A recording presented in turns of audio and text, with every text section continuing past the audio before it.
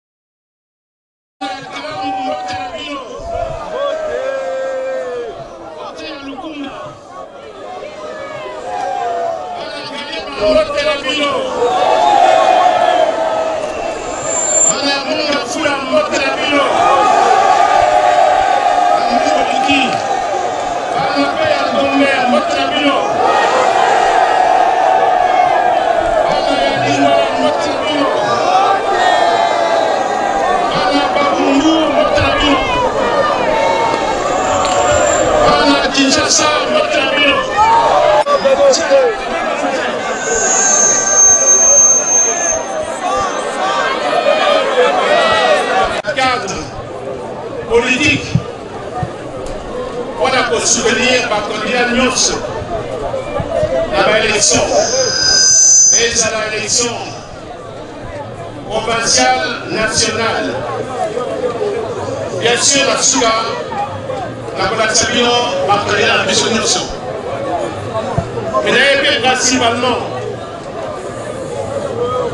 mpo na kosoutenir ndenge nalobaki na congrès na biso na congrès ya mlc nalobaki nini nakotia candidature te mpo na kosoutenir ndeko na biso président na biso félix antoine tshisekedi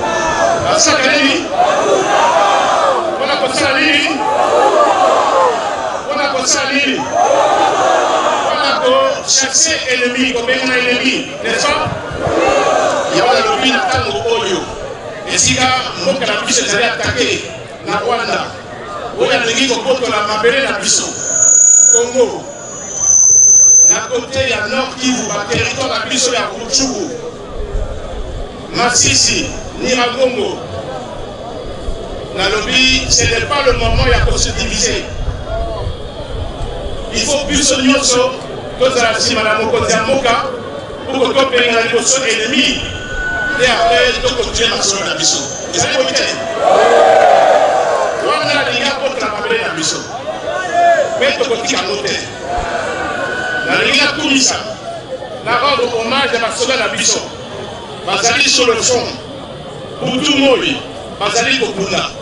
mpe bazali kosala mosala makasi. Boyokaka yango te, mais nalandaka yango minute par minute. Bazosala mosala mpenza makasi, mpe nalingi akutisa bango. Victoire ekozala na biso, tokoyoka basango mpe ya liboso na koloba Na mboka na biso, banda independance, mokonzi ya mboka oyo atie ba moyen ya koleka mpo na formation ya armee ya biso mpe mpo na ba equipement ya armee na biso akonsentir batya mbongo ebele mpo na sécurisation ya population na biso sécurisation na mboka na biso Bien sur mboka ezali monene mais bozali koyoka que formation ya bana oyo ebandaki babandi kobima babandi kobima brigade na brigade bazali kobima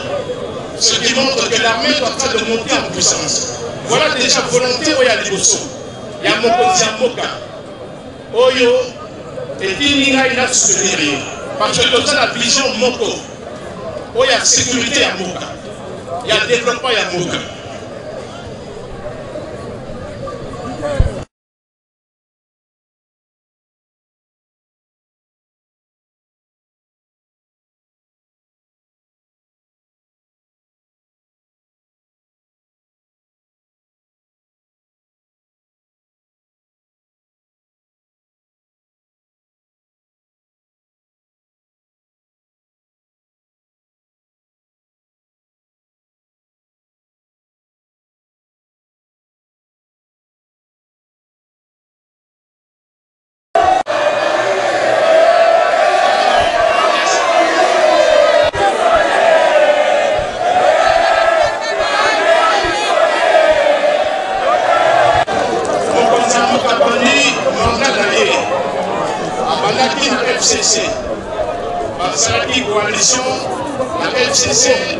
na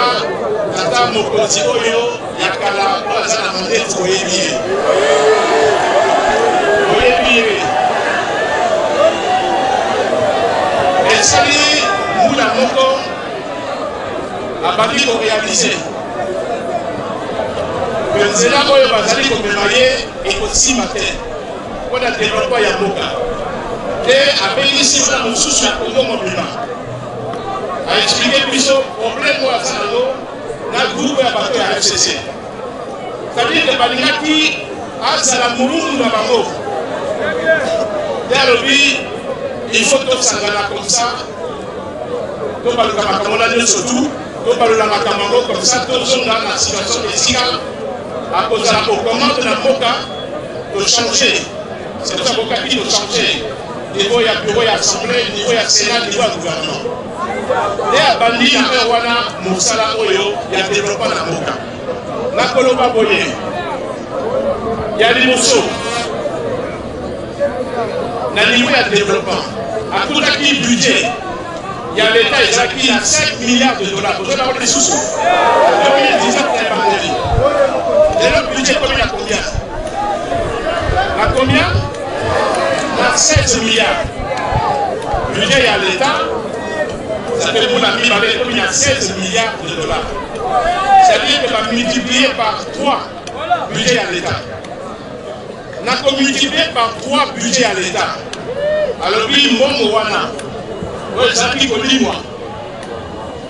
Avant ye akoma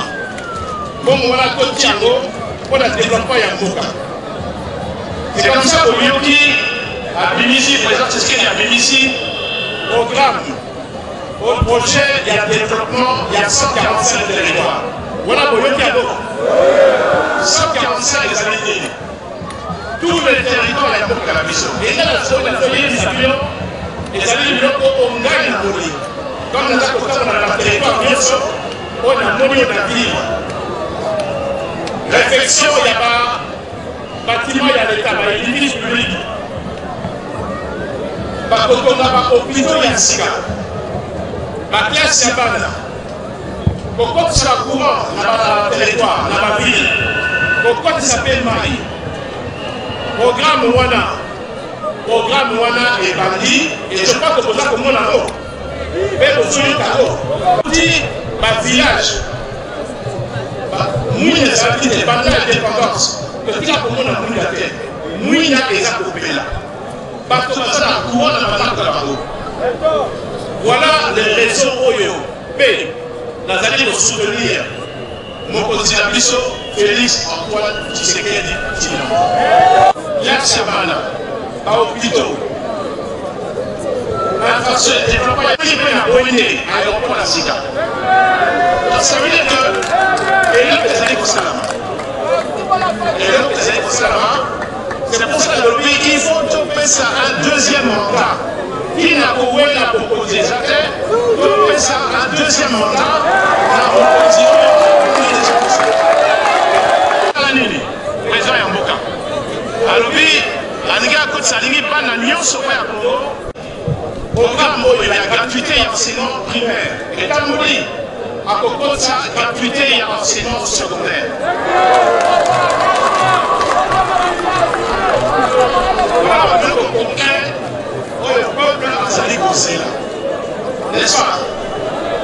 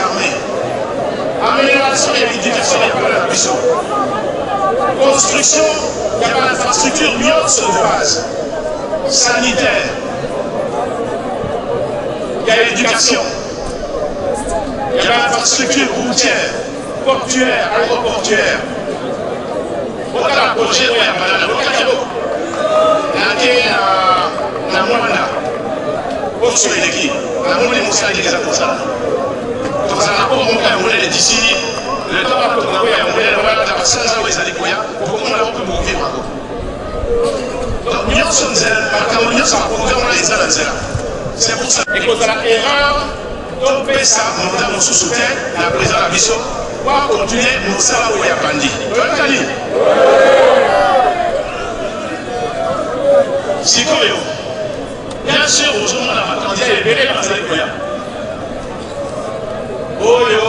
na ndenge azalaka azali candidat ya esko présidentiel toza koyoka makambo kilikili oyo na kosisa bituma na simwa oyo na komatisa budget ya samia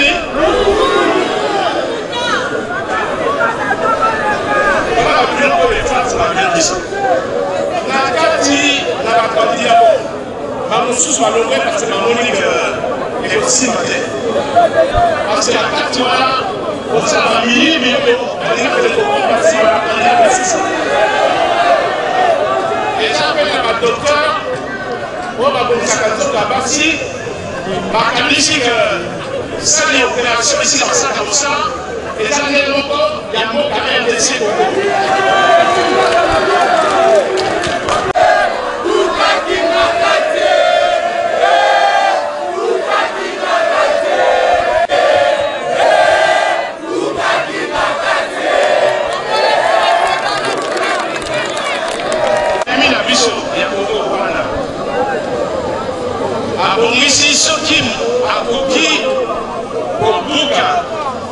defensive oyo eza na basoda na biso te babongisi bakandida oyo bakosala ya mosala soki bakomi na some ya mboka ozomona komanske toyebi yango